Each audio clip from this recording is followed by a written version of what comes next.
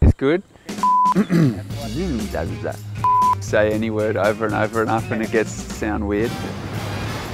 What is a good surfer? What makes someone a good surfer?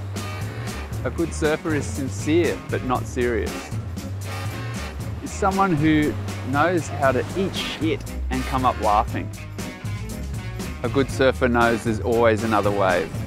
Collect that ciggy butt that you pass on the beach or pick up that plastic bag that floats by you in the lineup. A good surfer is grateful. Just stoked to be in the water, stoked to have your health, and so happy to have the time to go surfing. Being a good surfer is about giving more than you take.